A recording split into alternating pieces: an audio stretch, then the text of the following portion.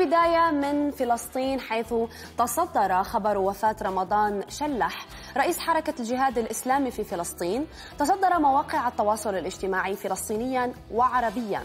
فمن هو هذا القائد الذي أحزن خبر وفاته الكثيرين؟ رمضان عبد الله شلح هو زعيم سياسي فلسطيني من مواليد الشجاعية في غزة بفلسطين وأحد مؤسسي حركة الجهاد الإسلامي في فلسطين والأمين العام لها. بعد وفاة قائدها ومؤسسها فتحي الشقاقي عام 1995 عمل أستاذا في الاقتصاد في الجامعة الإسلامية بغزة وعمل أستاذا للدراسات أو لدراسات الشرق الأوسط في جامعة جنوب فلوريدا. نستعرض جزءا من مقابلة قديمة لشلح وهو يتكلم يتكلم عن بعض مبادئه وأفكاره التي بقيت راسخة في بال الجميع. نتابع التخلي عن القدس هو تخلي عن مكة.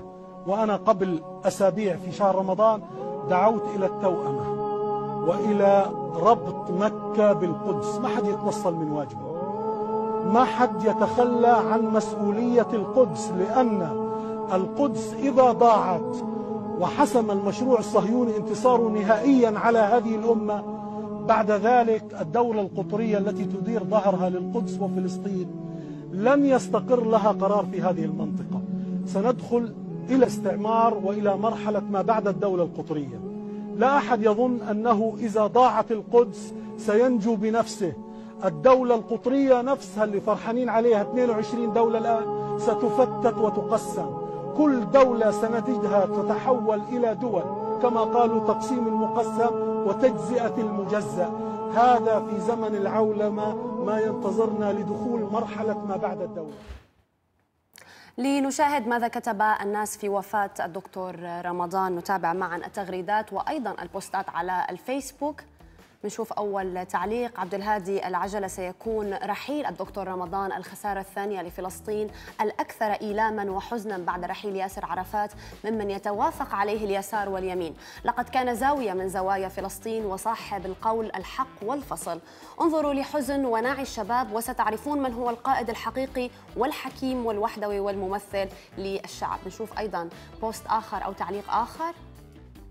تامر المسحال عم بيقول رحم رحم الله القائد الوطني الفلسطيني الدكتور رمضان شلح سنفتقدك ستفتقدك فلسطين والأمة قلتها منذ زمن بعيد. إن التخلي عن القدس يعني التخلي عن مكة والتنازل عن القدس كمن يحذف سورة الإسراء من القرآن الكريم إنها صوابية البوصلة والمنهج نشوف أيضا بوست آخر أو تغريدة أخرى.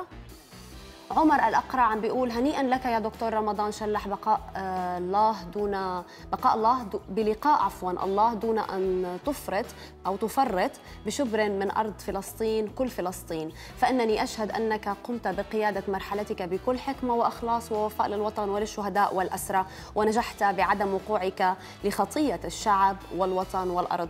نسأل الله لك الجنة وأن يجمعك مع الأنبياء والشهداء والصالحين. خسر الوطن هامة عالية نشوف يمكن في بعد تعليق أو بوست عمور عم بيقول رحمه الله رغم دعم إيران له إلا أنه لم يفكر يوما بمنصب في وجود الاحتلال وكان حريص على وجود كل المكونات في المجتمع الفلسطيني. كان مسلما مناضلا وترفع وترفع عن المناكفات والتجاذبات السياسية. حافظ حافظ الراحل رمضان شلح على خط مرن مع حركتي فتح وحماس بالرغم من الانقسام الداخلي. ربما كان هذا آخر بوست بخصوص هذا الموضوع.